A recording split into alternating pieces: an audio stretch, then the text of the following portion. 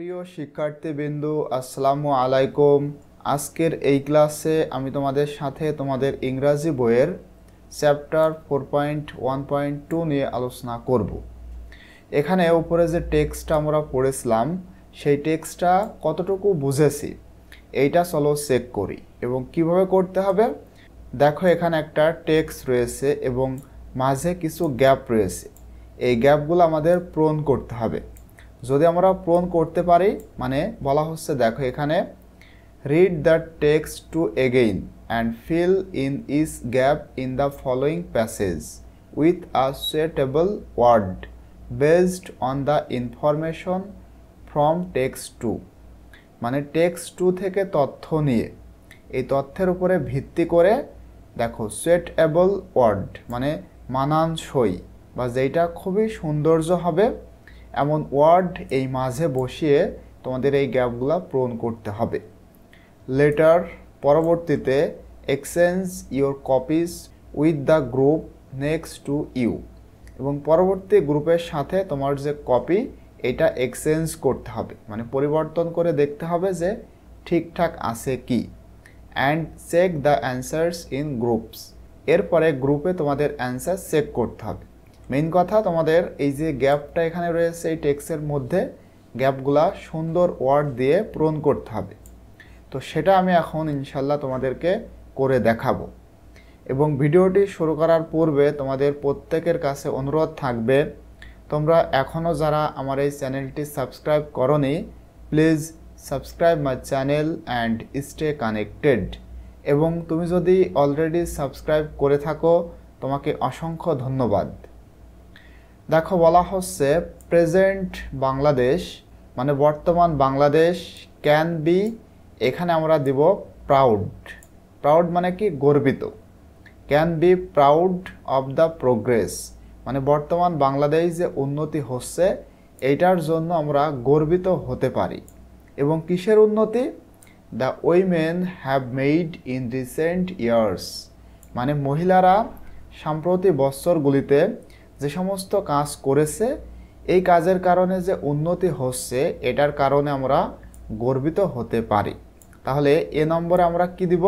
Proud it will be clear এটা পরিষ্কার বা স্পষ্ট হবে if we consider the education sector এখানে আমরা দিব এজুকেশন বলা হচ্ছে ইট উইল বি ক্লিয়ার এটা পরিষ্কার বা স্পষ্ট হবে ইফ যদি we consider the education sector আমরা যদি শিক্ষামূলক যে সমস্ত সেক্টর রয়েছে, সেগুলাকে কনসিডার করি, তাহলে এটা পরিষ্কারভাবে আমরা বুঝতে পারব বা আমাদের সামনে ক্লিয়ার হবে।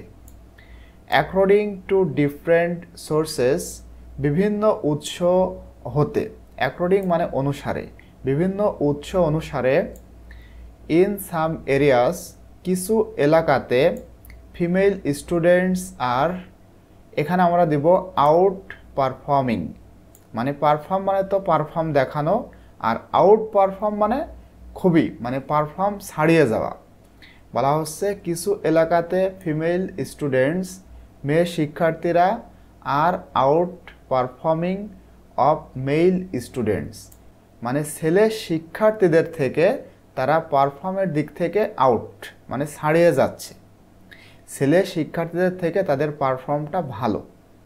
অলসো এছাড়াও women are contributing greatly to the economic এখানে আমরা দিব development economic development of Bangladesh এছাড়াও, মহিলারা উইমেন মানে মহিলারা আর কন্ট্রিবিউটিং কন্ট্রিবিউট মানে অবদান রাখা। মহিলারা অবদান রাখতেছে গ্রেটলি চমৎকারভাবে বা দারুণভাবে। টু দ্য ইকোনমিক অফ মানে ইকোনমিক ডেভেলপমেন্ট অফ বাংলাদেশ বাংলাদেশের অর্থনৈতিকভাবে যে উন্নতি হচ্ছে, এইখানে মহিলারা খুবই দারুণভাবে অবদান রাখতেছে। They are working in almost every sector এবং তারা কাজ করতেছে ইন অলমোস্ট প্রায় এভরি সেক্টর প্রতিটা খাতে। অ্যান্ড এবং have been well appreciated appreciate মানে কি? প্রশংসা। আর এখানে বলা হচ্ছে হ্যাভ বিন মানে এটা ভয়েসে করা রয়েছে। প্যাসিভ ফর্মে রয়েছে হ্যাভ বিন ওয়েল অ্যাপ্রিসিয়েটেড মানে তারা খুবই ভালোভাবে প্রশংসা পাচ্ছে মানে তাদেরকে প্রশংসা করা হচ্ছে ফর দেওয়ার ওয়ার্ক তাদের কাজের জন্য। মানে তারা যে অবদান রাখতেছে এবং প্রতিটা সেক্টরে কাজ করতেছে, এই কারণে তাদেরকে প্রশংসা করা হচ্ছে। নাও এখন ইটস টাইম টু রিকগনাইজ এখন রিকগনাইজ মানে স্বীকৃতি। এখন স্বীকৃতি দেওয়ার সময়, দেওয়ার কন্ট্রিবিউশন তাদের যে অবদান মানে তারা যে অবদানটা রাখতেছে, এই অবদানকে, তাদের অবদানকে রিকগনাইজ করার সময় এখন। And inspire women to participate এখানে ই নম্বরে আমরা দিব পার্টিসিপেট এবং ইন্সপায়ার উইমেন মহিলাদেরকে উৎসাহ দিতে হবে টু পার্টিসিপেট অংশগ্রহণ করতে। ইন্সপাইরেশন মানে কি? অনুপ্রেরণা। মহিলাদেরকে বা মেয়েদেরকে অনুপ্রেরণা দিতে হবে টু পার্টিসিপেট অংশগ্রহণ করতে in building a better Bangladesh একটা ভালো বাংলাদেশ গড়তে, যেন তারা সর্বত্রই অংশগ্রহণ করে। এই ইন্সপাইরেশন এবং এই যে তাদেরকে রিকগনাইজ সব কিছুই করতে হবে।